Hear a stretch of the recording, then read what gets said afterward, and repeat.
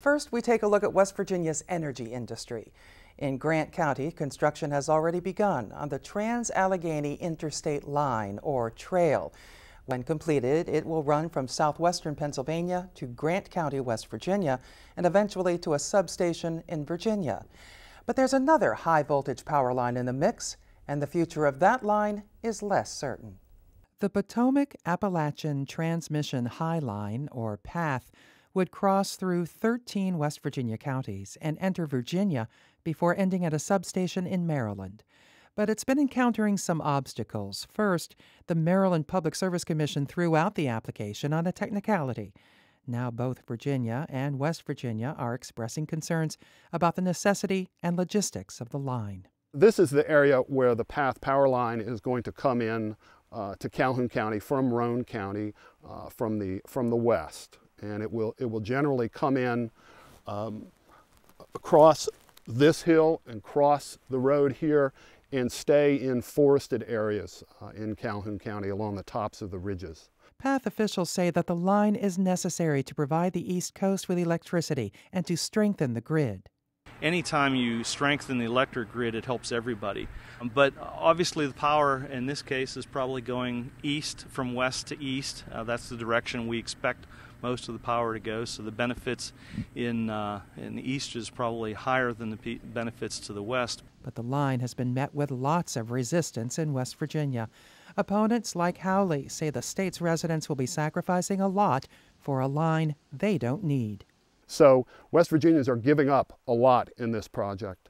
Um, and as I mentioned before, um, the reasoning behind this line uh, is very shaky if the line would actually improve the reliability of our power grid, would actually solve the problems that PJM interconnections engineers say it would solve, then I would support the line.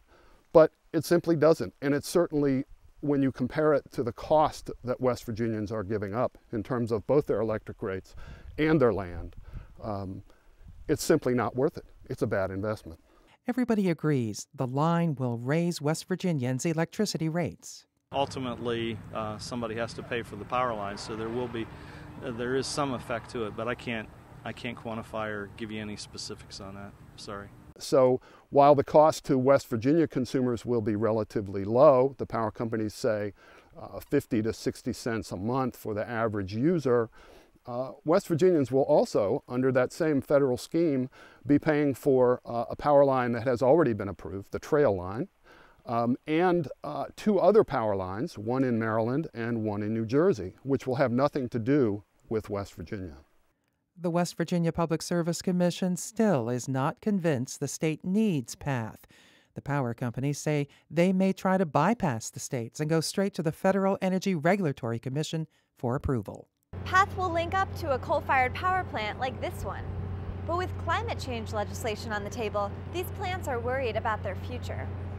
Here, in the tiny town of New Haven in Mason County, the Mountaineer Power Plant is debuting its carbon capture and sequestration technology. Other projects have either captured or sequestered carbon dioxide, but this is the first coal fired power plant to do both. As far as AEP is concerned, uh, future legislation will probably require not only capture but storage of that CO2 as we capture it. So AEP has been working with Alstom on this process, not only to capture the CO2 as we make it, but to also simultaneously store it in the deep underground aquifers. And that's at the elevation of here, the two wells we have to inject is 8,500 feet and 7,500 feet. France's Alstom Power is one of several industry leaders partnering with American Electric Power for the project.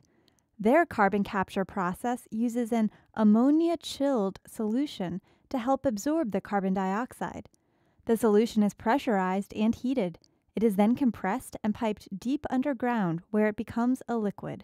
So, what we've done in the UK, spurred on by uh, this sense of purpose, is that we have um, the government has run a competition uh, for up to four commercial scale CCS projects at electricity generating stations. And we're talking to companies at the moment. And the idea is that we'll run these projects and we aim to prove the technology as quickly as possible. And we have legislation in place which says that already any new power station built in the UK from this year onwards has to have within the design the capacity to retrofit CCS. And as soon as the technology is proven, every new power station from this year, within five years, will have to have retrofitted CCS. So we're really keen to get on with this. Because one more time, the Mountaineer State is leading this country with a technological advancement to see to it that coal, the most important fuel really in the world for the production of electricity, will continue to have a very, very bright future. The pilot project, referred to as CCS, will bury 1.5% of the plant's emissions more than one mile underground. Environmentalists question whether the carbon will remain trapped underground and whether it will be economically viable on a large scale. The process is expensive.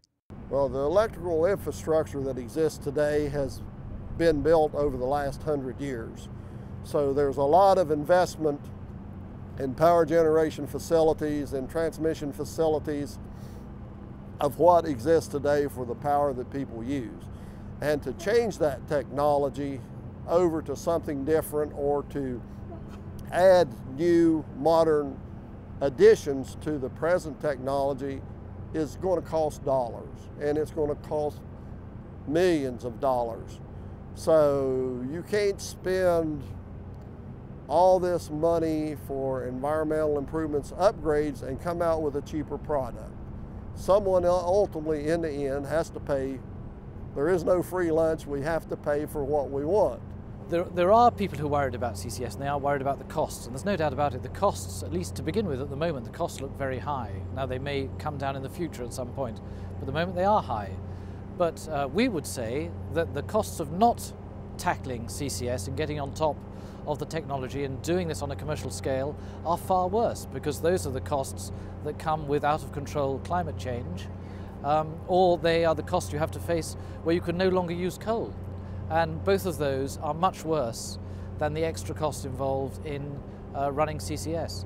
AEP has asked for more than $300 million in federal stimulus funds to continue the project on a commercial scale.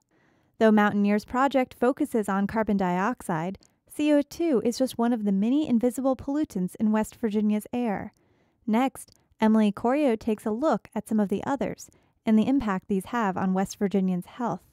For West Virginia Public Broadcasting, I'm Erica Peterson in Charleston.